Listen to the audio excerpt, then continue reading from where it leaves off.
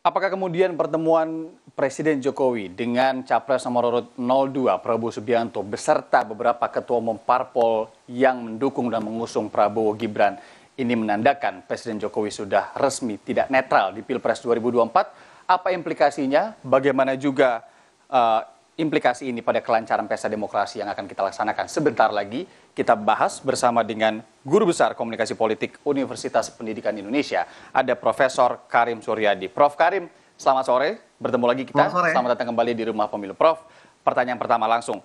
Apa ini semakin menegaskan bahwa Presiden sudah tidak netral di Pilpres 2024 ini? Ketemu uh, salah satu calon, kemudian juga ketemu ketua-ketua umum parpol yang mendukungnya. Kemudian juga kita tahu statementnya uh, sama terkait dengan debat. Silakan, Prof. Wah, ini tema yang paling serem, mengerikan ya, kok berani-beraninya Karim ngomongin presiden gitu. Tapi karena saya adalah pemilih, saya adalah rakyat Pak Jokowi, saya adalah orang yang sehari-hari setiap hari ngajarin demokrasi, ngajarin pemilu, netralitas jujur adil, saya cobalah. Ya. Kalau Pak Jokowi kecewa dengan debat, saya juga agak kecewa. Ya, tentunya kan penting perspektif komunikasi politik ya, Prof. Nah, kalau Pak Jokowi agak kecewa dengan debat, saya juga kecewa tetapi Pak, saya lebih kecewa dengan pernyataan Bapak. Mengapa? Pertama, saya mengapresiasi niat Bapak barusan yang menegaskan bahwa pernyataan itu untuk ketiga pasangan capres. Tapi itu sulit dipercaya karena konteks yang melatarinya. Pertemuan dengan salah satu paslon, pertemuan dengan ketum-ketum pendukung, hmm. Itu menegaskan bagaimana posisi Bapak, betapapun itu iya. tidak yeah. dikenakan. Hmm. Adapun dengan eh, bahwa debat itu harus mengedukasi, menurut saya yang lebih penting mengedukasi adalah pejabat yang keluar dari istana. Jangan sampai pejabat ikut-ikutan memihak, menyatakan sesuatu yang jelas-jelas melanggar, dinyatakan sebagai tidak melanggar. Itu kan memalukan. Jadi, Pak Presiden, kembalilah kepada jalur Presiden sebagai Presiden yang sudah bersumpah.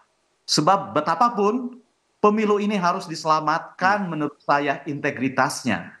Kenapa saya bilang harus diselamatkan? Karena kalau soal keberpihakan sudah tidak perlu dipertanyakan. Soal netralitas tidak usah dibahas. Semua orang sudah tahu. Bagaimana mungkin bisa netral kalau ada anak bapak di sana?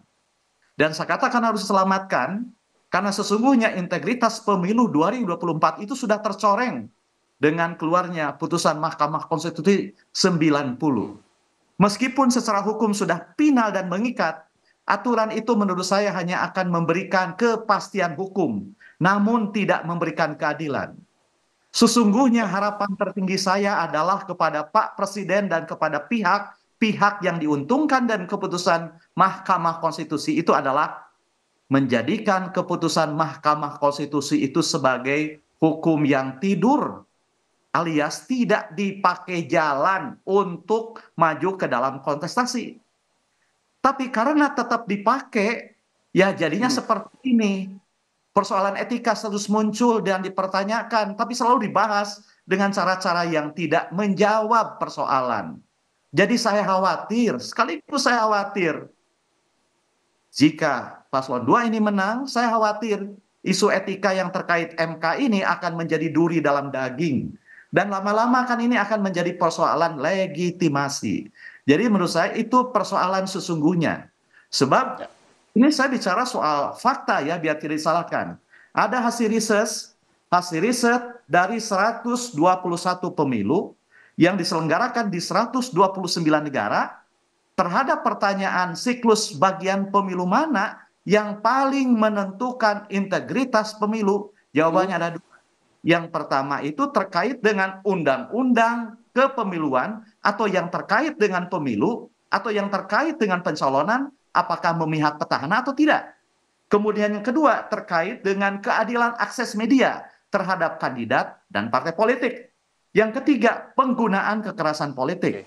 Dan yang keempat soal netralitas para penyelenggara negara. Nah yang pertama ini menurut saya yang menjadi masalah. Oleh karena itu, karena ini sudah terjadi, kita menolerir. Kalau saya menolerir itu lebih karena kalau ditunda itu akan jadi persoalan besar. Nah oleh karena itu maka menurut saya betapapun niat ya. Pak Presiden mengomentari ketiganya, menurut saya lebih baik tidak berkomentar. Soal hal-hal yang teknis itu. Saya berharap Bapak menjalankan lebih baik tidak berkomentar. Presiden mm -hmm. dan menjamin Prof, pemilu ini jujur dan adil. Hanya itu saja. Ya, gimana? Ya, ya, ya. Prof, um, begini, banyak gestur-gestur politik sebelumnya yang kemudian dilakukan Presiden untuk menunjukkan bahwa sebagai kepala negara ia netral gitu ya, dengan kemudian mengundang ASN dan memberikan arahan, instruksi, uh, kemudian juga kepada TNI, Polri, yang kemudian diteruskan ke jajaran-jajarannya untuk melakukan hal-hal yang kemudian uh, apa harapannya bisa dianggap netral oleh publik juga. Tapi dengan statement, dengan gestur-gestur pertemuan kemarin, apa sih Prof implikasi ketika uh, ketika seorang kepala negara ini uh, diduga begitu ya tidak netral dalam sebuah pemilihan umum. Implikasinya seperti apa kepada demokrasi dan juga penyelenggaraan uh, pemilu secara umum, Prof? Jadi kata-kata itu punya keterbatasan. Seribu kali kita katakan langit warnanya kuning, tapi kalau patkannya biru, ya kata-kata itu lumpuh gitu loh. Seribu kali himbauan, arahan disampaikan kepada ASN, TNI, Polri gitu ya, pejabat yang lain-lain gitu. Tapi kalau misalnya fakta pertemuan dengan calon, fakta pertemuan dengan paslon pendukung gitu ya, partai pendukung, tapi tidak dengan partai yang lain, itu kan akan dibaca sebagai apa gitu lah. Apalagi misalnya di sana ada terah biologis yang bersangkutan. Itu kan sulit. Siapa sih orangnya? Apalagi beliau sudah menjelaskan. Tugas orang tua itu adalah memberikan restu dan dukungan. Itu sudah jelas dikatakan. Sebelumnya lagi dikatakan akan cawe-cawe dalam pemilu 24. Jadi menurut saya itu narasi-narasi yang memenuhi tabiat sendiri. Ya, Jadi sesungguhnya itu tidak usah saya katakan. Tidak usah yang dikatakan. Karena itu apa yang terjadi terdedah, tertampilkan sudah mengatakan dan mengumumkannya sendiri tentang keberpihakan, tentang arah dukungan dan lain-lain. Bahkan menurut saya sudah terang benderang kok. Kan pernah ditanya gitu ya, apa ini tidak melanggar netralitas? Beliau katakan itu kan hari libur. Betul, aturan hari libur itu hanya ada pada soal kampanye. Apakah beliau sedang kampanye?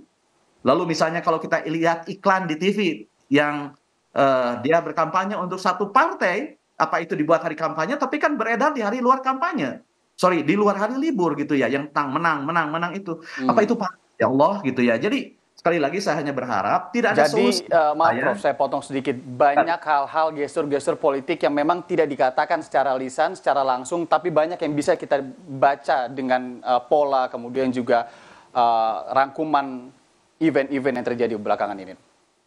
Iya, menurut saya itu lebih dari sekedar gestur tapi itu sudah merupakan tindakan gitu loh. Sudah merupakan tindakan dukungan. Menunjukkan gitu. sikap.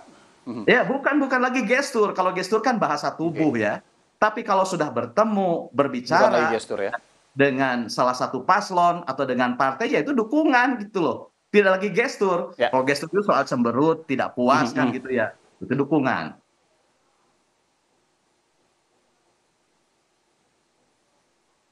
Ya, gimana? Oke, Prof, bagaimana kemudian Anda apa menilai semua ini kalau Anda juga memiliki uh, apa hal-hal atau apa ya, saya bisa bilang uh, imbauan mungkin sekali lagi pada Presiden mungkin Anda bisa katakan saat ini. Gini ya, uh, saya teringat betul apa yang ditulis oleh SBY ketika dia menulis paper tentang cawe-cawe. Dan itu ditulis ketika SBY dan Demokrat masih bermesraan dengan Nasdem dan Anies Baswedan. Tapi sekarang tidak terdengar. Saya ingatkan kembali, saya baca kembali. Bagi mereka, ini di halaman 24 ya, di buku cawe-cawe Pak SBY. Saya kutip sebagian. Bagi ya. mereka yang membantu dan mengawal Pak Jokowi, bantu dan kawalah secara benar. Setelah tanggal 20 Oktober 2024, nanti Pak Jokowi akan mengalami mengakhiri masa dharma baktinya sebagai pemimpin bangsa beliau akan menjadi orang seperti saya. Tentu beliau ingin mengakhiri jabat pengabdiannya dengan baik. Beliau juga ingin punya legacy dan diingat dengan baik-baik oleh rakyat. Jadi kembalilah kepada jalan yang benar sebagai presiden. Dukungannya hanya harus diharus salurkan pada tanggal 14 Februari, tapi tidak perlu diumbar. Saya tidak bosan mengingatkan bagi pejabat, dukungan politik, preferensi politik itu ada Allah aurat yang harus dijaga. Karena presiden adalah orang tua saya, orang tua Irandi, atau hmm. orang siapa pun. Begitu. Ya. Terima kasih banyak Prof. Uh, Quotes-nya menarik uh, membahas soal orang tua karena memang secara hierarkis juga uh, merupakan sebuah posisi apa namanya kepala negara yang kemudian semua akan look up ke dia dan uh, semua akan juga mencontoh bagaimana kemudian ini nanti uh, mengambilan keputusan dan juga etika yang Prof tadi singgung. Prof uh, Karim dari Universitas Pendidikan Indonesia, Guru Besar Komunikasi Politik. Terima kasih atas waktunya dan semoga tidak bosan diundang di Rumah Pemilu, Prof. Sampai ketemu lagi, sehat selalu.